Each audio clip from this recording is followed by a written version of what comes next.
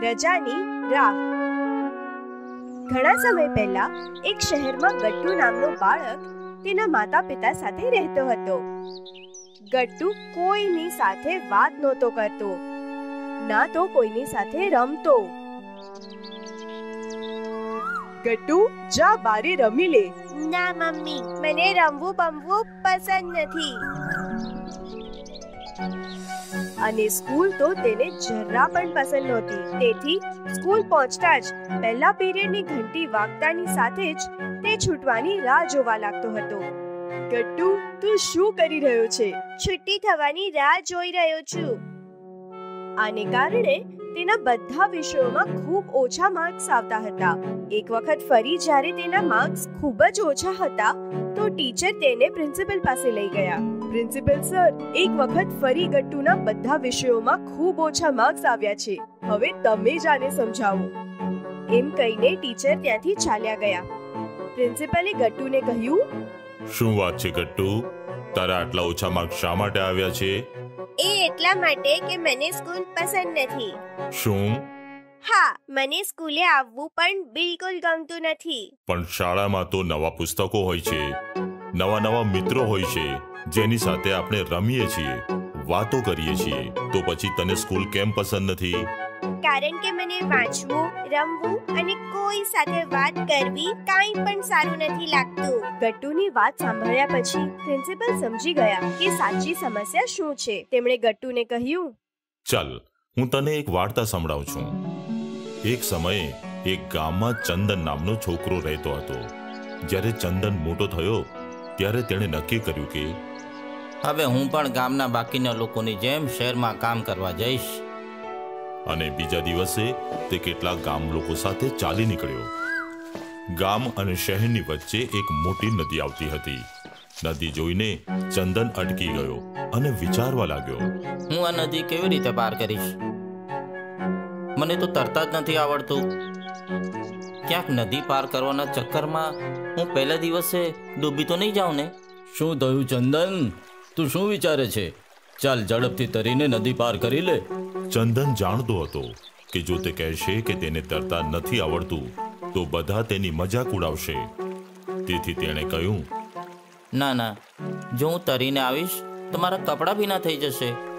તમે બધા જાઓ. હું નદીની આગળથી ફરીને આવું છું. પણ નદી તો ખૂબ મોટી છે. તું કામ પર સમયસર નહીં પહોંચી શકે. હું બહુ ઝડપથી દોડું છું. જોજો હું તમારી પહેલાં પહોંચી જઈશ. ચંદનનું આવું કહેવા પર ગામ લોકો તરીને નદી પાર કરીને ચાલ્યા ગયા અને ચંદન નદી પાર કરવા માટે દોડવા લાગ્યો. પરંતુ નદી ખૂબ લાંબી હતી. આ નદી તો સાચે જ ખૂબ લાંબી છે. પણ વાંધો નહીં. હું સમયસર કામ પર પહોંચી જઈશ. પરંતુ જ્યારે તે કામ પર પહોંચ્યો ત્યાં સુધીમાં ખૂબ જ મોડું થઈ ગયું હતું. મારે પહેલે જ દિવસે કામમાં મોડું થઈ ગયું. કંઈ વાંધો નહીં. કાલે હું વહેલો આવી જઈશ. બીજા દિવસે સૂરજ ઉગે તે પહેલા જ તે ઘરની બહાર નીકળી ગયો. તેણે દોડીને નદી પાર કરી અને બધાની પહેલા કામ પર પહોંચી ગયો. આજે તો હું કામ શરૂ થતા પહેલા જ કામ પર પહોંચી ગયો. અને આ જ રીતે તે રોજ સવારે બધાની પહેલા જાગીને નદી પાર કરી અને કામ પર જવા લાગ્યો. પછી એક દિવસ તેને જાગવામાં મોડું થઈ ગયું. તે દોડીને નદી પાસે પહોંચ્યો તો બધા ગામના લોકો નદી પાર કરી રહ્યા હતા. ચંદન લાગે છે કે આજે તને મોડું થઈ ગયું. આજે તો સમયસર કામ પર નહીં પહોંચી શકે. ગામ લોકો તરીને નદી પાર કરીને ચાલ્યા ગયા અને ચંદન ત્યાં જ ઊભો રહીને વિચારવા લાગ્યો. જો હું આજે કામ પર ન ગયો તો માલિક ખૂબ જ ગુસ્સે થશે. પણ મને તો તરતા પણ નથી આવડતું. પરંતુ ચંદન પાસે કોઈ રસ્તો જ નહોતો. તેથી તેણે વિચાર્યું ચાલો એકવાર પ્રયત્ન તો કરું. એવું વિચારીને તે નદીમાં કૂદી ગયો. અરે આ પાણી તો ખૂબ જ ઊંડું છે. લોકો કેવી રીતે તરી લે છે? મને તો ખૂબ જ ડર લાગે છે. પછી તેણે તરવાનું શરૂ કર્યું અને જોત જોતામાં તે તરવા લાગ્યો તેને પોતાના ઉપર જ વિશ્વાસ નહોતો થતો. અરે હું તો તરવા લાગ્યો. મને ખબર પણ નહોતી કે મને તરતા આવડે છે. અને પછી તે ગામના બાકીના લોકોની જેમ તરીને નદી પાર કરવા લાગ્યો. તો ગટ્ટુ આ વાર્તામાંથી આપણે શું શીખ્યા? એ જ કે તરવું સરળ હોય છે. ના આ વાર્તામાંથી આપણે એ શીખ્યા છે કે જ્યાં સુધી તું બીજા બાળકો સાથે વાત નહીં કરે ત્યાં સુધી તને કેવી રીતે ખબર પડશે?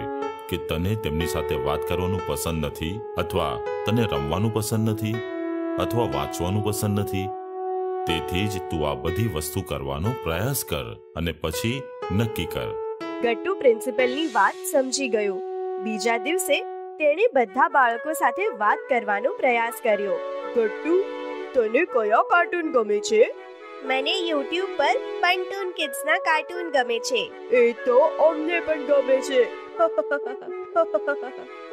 અને ગટ્ટુને તેમની સાથે વાત કરવું ગમવા લાગ્યું.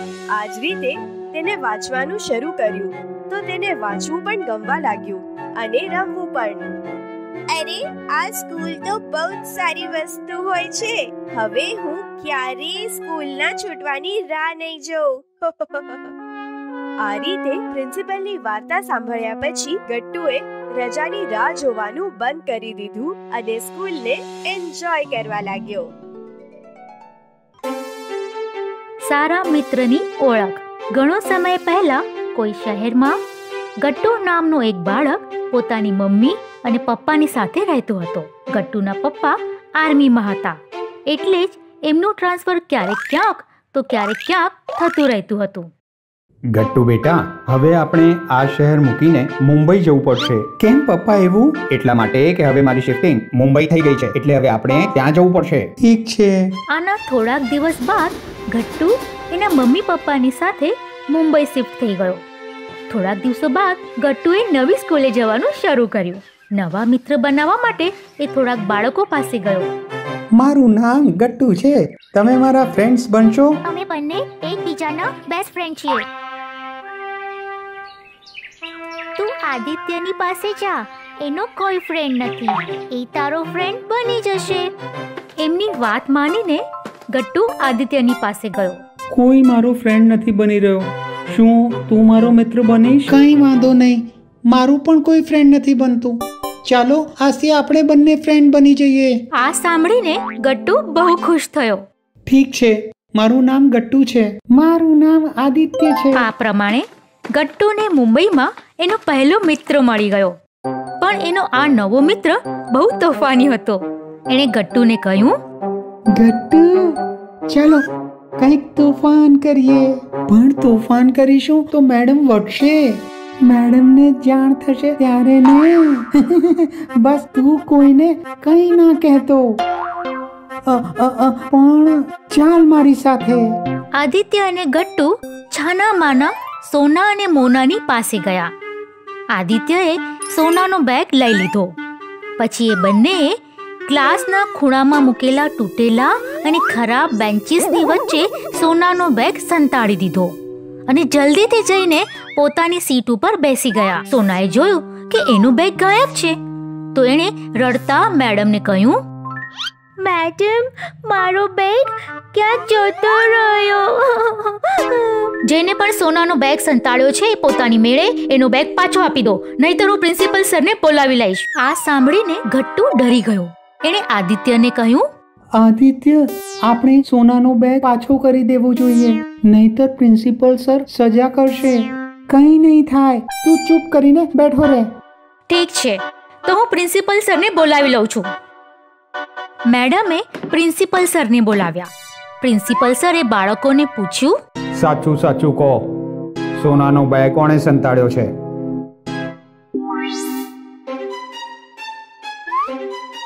ઠીક છે. હવે બધા પોતાની સીટ ઉપર ઊભા રહેશે. તમારી મેડમ અને હું આખા ધોરણની ઝડપી લઈશું.